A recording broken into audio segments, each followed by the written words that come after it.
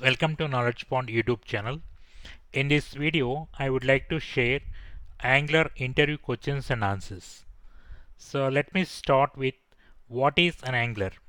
Angular is a front-end framework for building client applications in HTML and using either JavaScript or a programming language like TypeScript that compiles to JavaScript. The framework consists of several libraries, some of them are core and some are optional. Why Angular? Developing web application using JavaScript and jQuery is very difficult. So Angular comes with front-end framework and set of reusable libraries and it provides the structured way of developing application by incorporating object-oriented features with the help of TypeScript language.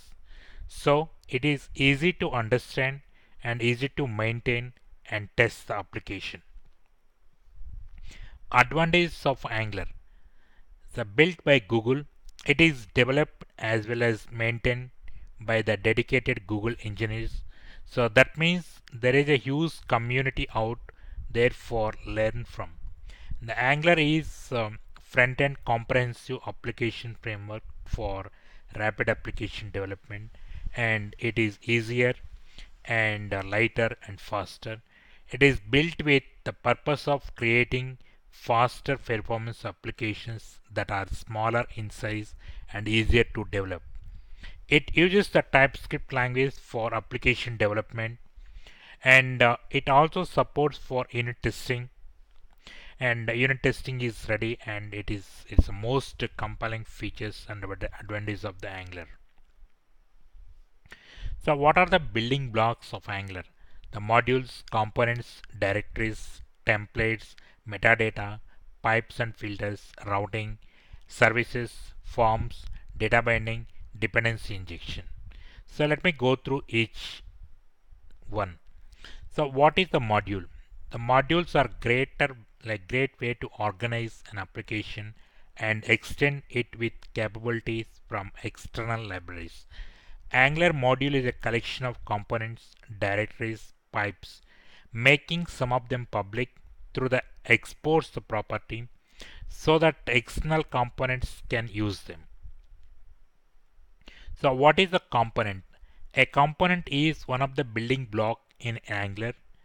A component is technically a directive, but the components are so distinctive and central to Angular application that Angular defines at the rate of component directives. So what is the directive?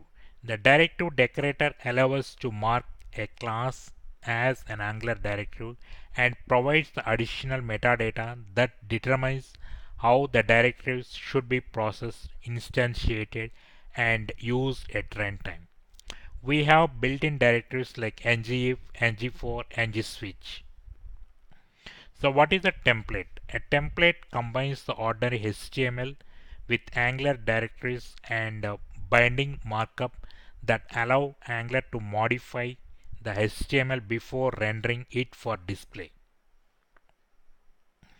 So what is the metadata? The metadata is used to decorate a class so that it can configure the expected behavior of the class.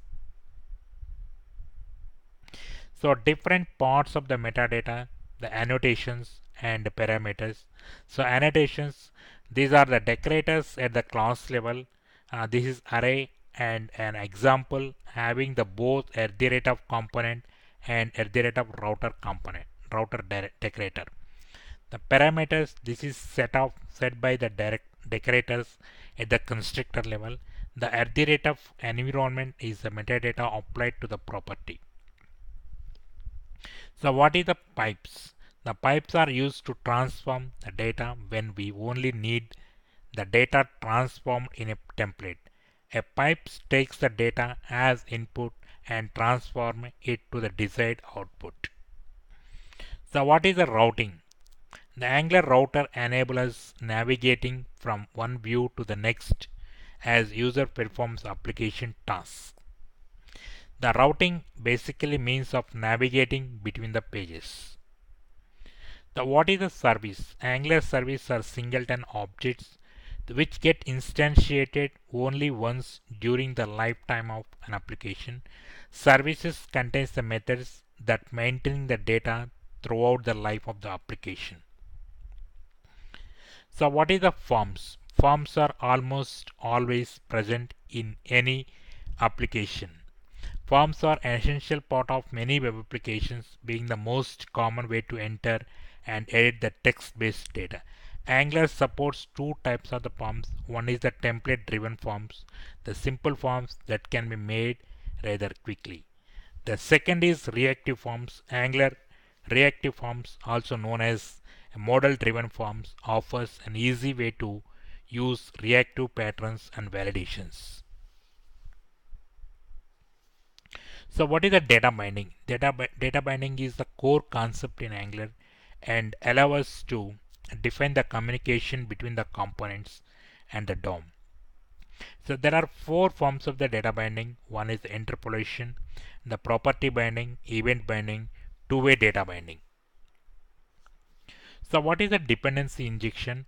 Dependency injection or DI is a software design pattern that deals with how components get hold of their dependencies. It is a way to create objects that depend upon other objects.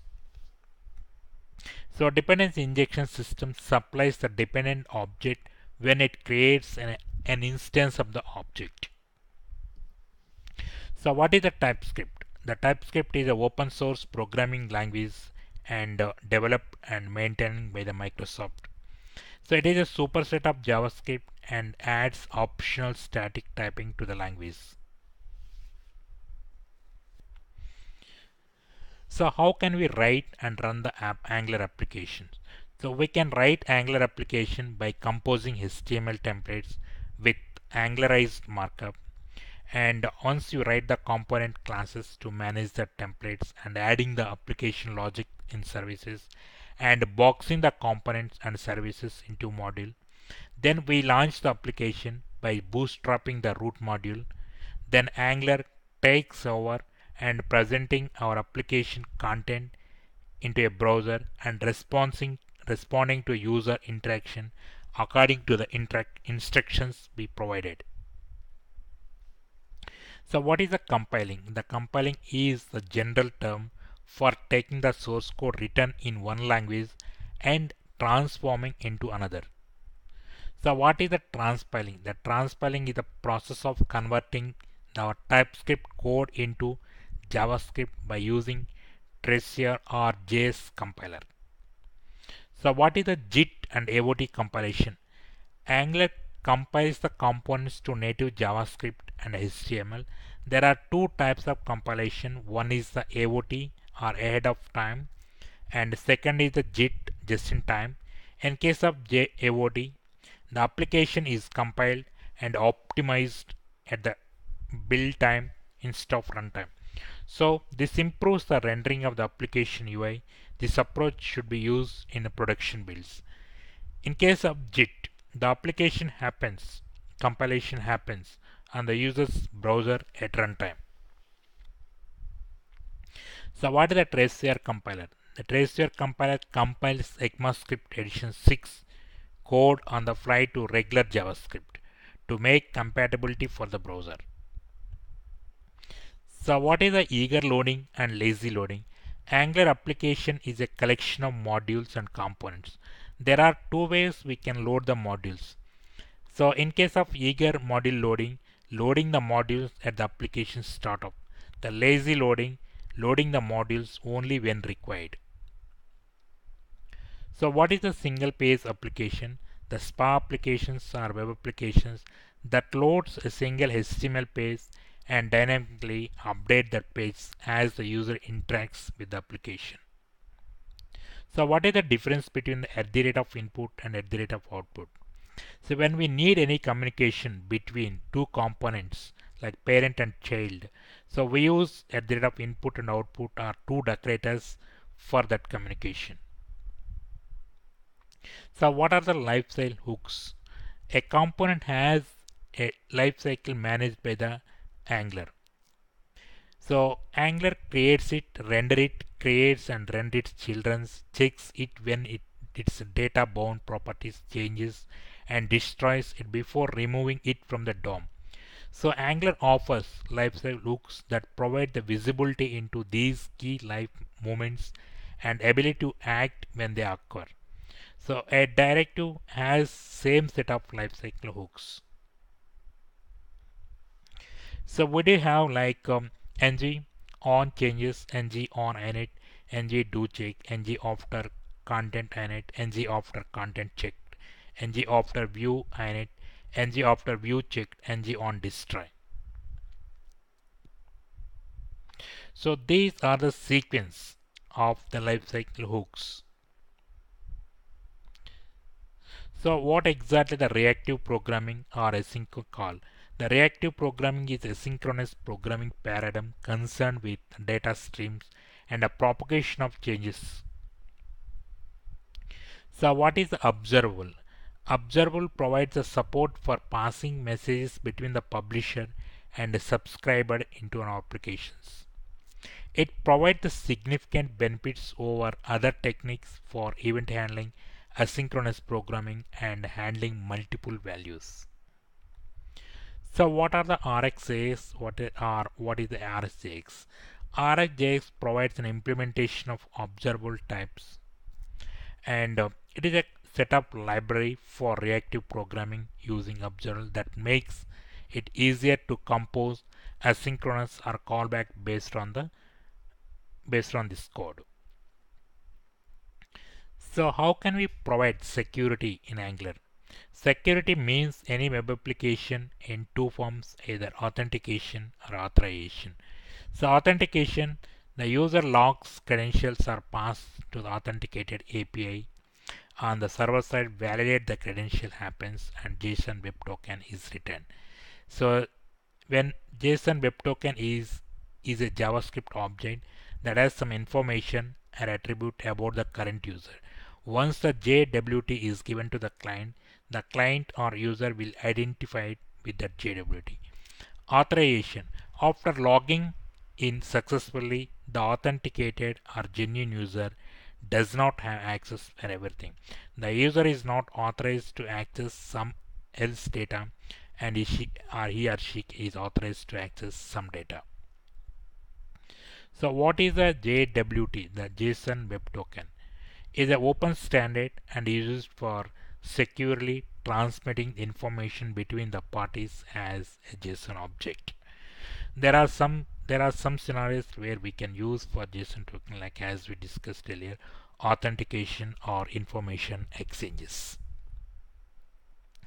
So what is the interceptors? Interceptors are used to intercept outgoing requests or incoming responses. So this can be really useful for features like caching and logging. So web application security risks. What are the different security risk we can face it? So injection attacks, broker authentication and session management, excesses uh, like cross-site scripting, insecure direct object references, security misconfiguration, sensitive data exposure, missing function level access controller, CSRF using component that pass the vulnerabilities. So invalidated redirects or forwardeds. So what exactly the state management? So as the requirement for JavaScript single page application have becomes increasingly complicated so our code must be managed more state than ever before so this state can include the server responses or cache data as well as the locally created data that has not yet been persisted server like UI state is also creating in complexity as we need to manage the active routes selected tabs spinners pagination control and so on managing this ever changing state is hard. If the model can update another model or then view can update a model which updates another model and this in turn might cause another view to update. So at some point we no longer understand what happens in our application as we have to the control over them. So so we we keep this state and so we need to maintaining the state of all these changes. So that's we call it state management. So what is a Redux? Redux is a library which helps us to maintain the state of the application. So what exactly the Angular cookie? A cookie is a small piece of data sent from the website and stored on the user's machine by user's web browser while the user is browsing. Cookie persists across the multiple requests and browser sessions. Should we send them to the end, they can be a greater method for authentication in some web applications. So what is Angular Material? Angular Material is a UI component library for Angular developers. Angular Material components help us constructing attractive, consist, and functional web pages and web applications while adhering to modern web design principles like browser portability, device independency, and graceful degradation. So what is a Bootstrap? Bootstrap is the most popular HTML, CSS, JavaScript framework for developing a responsive mobile-first web applications. What are the different development IDs? We have Visual Studio Code, Visual Studio Express are here, Atom, Subtext, WebStorm. So what is ECMAScript? ECMAScript is a scripting language which is developed by ECMA International Organization. So what is the package.json?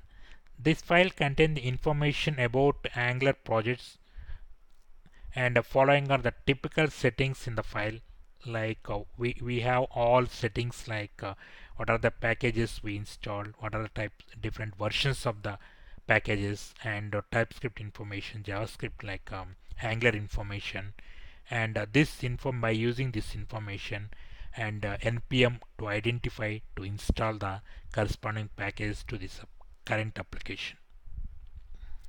So what exactly is CLI?